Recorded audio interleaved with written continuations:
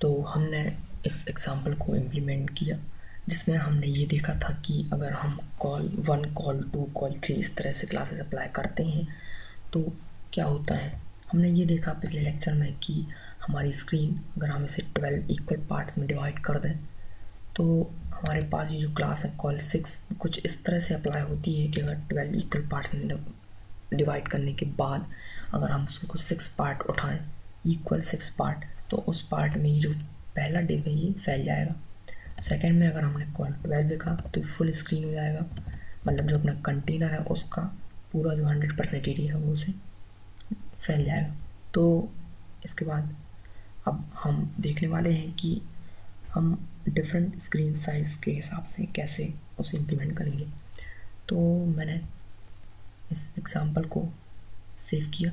मैंने कहा save as D dot H T M तो इसमें मैंने D dot H T M create किया और मैं यहाँ से ये सब यहाँ से रिमूव कर देता हूँ।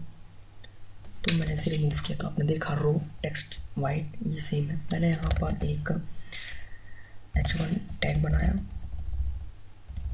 मैं यहाँ पर एक स्मॉल टैग बना लेता हूँ। स्मॉल और यहाँ पर ये मैंने किया स्मॉल तो मैंने इसमें कुछ डमी टैक्स लिखा इनका कंट्रोल सिर्फ़ बी इसके बाद मैंने रो है तो ये मैं इसमें क्लास अप्लाई करूँगा। मैंने कहा क्लास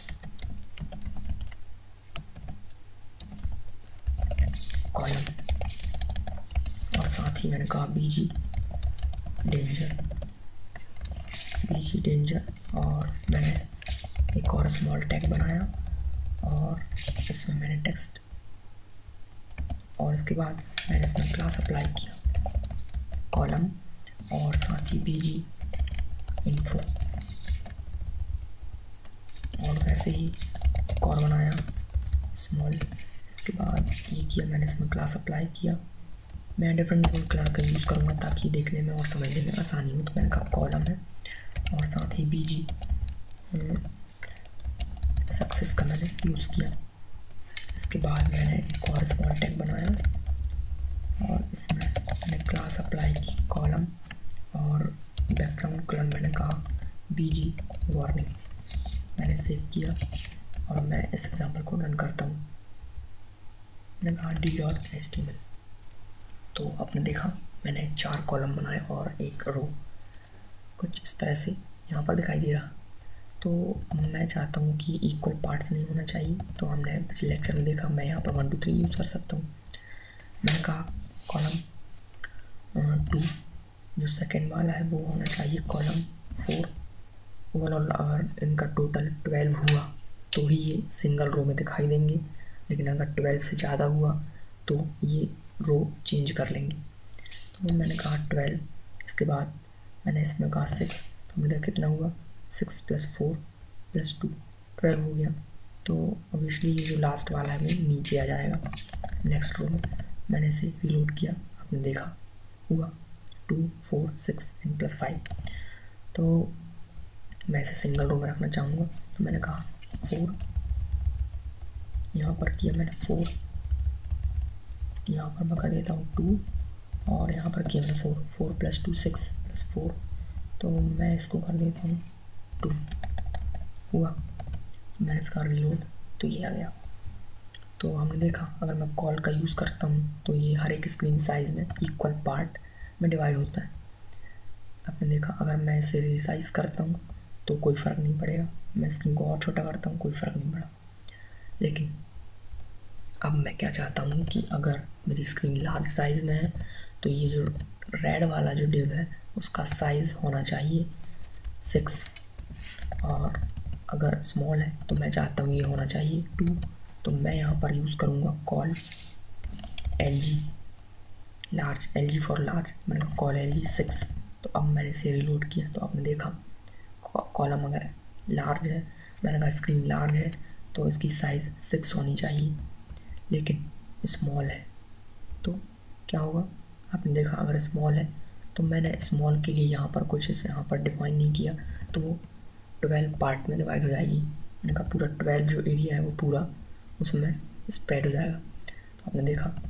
अब मैं चाहता हूँ कि कॉलम जब स्मॉल हो तो मैंने कहा कॉल एस एम मैंने जब कॉलम स्मॉल होगा तो ये सिंगल पार्ट में डिवाइड होगा। तो मैंने जो सिंगल पार्ट है उसमें फैलेगा। मैंने कहा रीलोड तो आपने देखा अभी लार्ज है। मैंने इसे स्मॉल किया। तो आपने देखा क्या इफ़ेक्ट हुआ। तो इस तरह से हमारे पास क्लास हैं col S M col L G इसका हम यूज़ कर सकते हैं। तो मैंने बूट स्ट्रैप की जो वेबसाइट है, उसे ओपन किया। वेबसाइट बूट स्ट्रैप फोर तो आप इसमें देखेंगे। बूट स्टेप फोर में मैं गया इंट्रोडक्शन यहाँ पर आपने देखा डॉक्यूमेंटेशन और यहाँ पर लेआउट में जाएँगे आप। इसके बाद मैंने कहा ग्रिड तो ग्रिड में आप यहाँ देखेंगे कि यहाँ पर मेंशन किया हुआ है। कि col L G col S M इनका क्या साइज़ यहाँ पर डिफाइन है। तो हमने स्क्रॉल किया।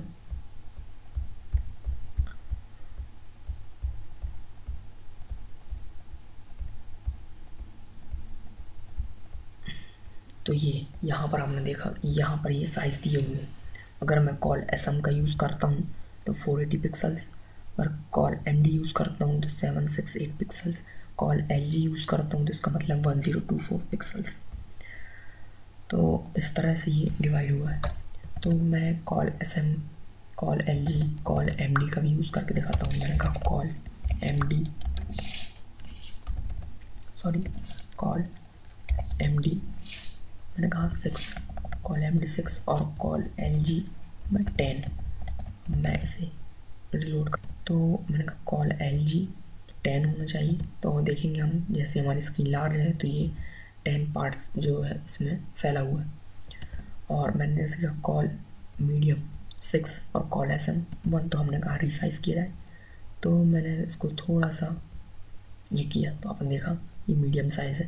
तो मीडियम साइज़ है तो इसका जो एरिया है, वो सिक्स है। मैंने इसको स्मॉल किया तो ये स्मॉल साइज़ हुआ तो आपने देखा, ये वन है। तो इस तरह से हम जो रिस्पॉन्सिव वेबसाइट में अपना जो काम है डिज़ाइनिंग का वो कर सकते हैं। अलग अलग स्क्रीन साइज़ में हम अलग अलग डिफ साइज़ यहाँ पर डिफ़ाइन कर सकते हैं। इस वीडियो में इतना ही।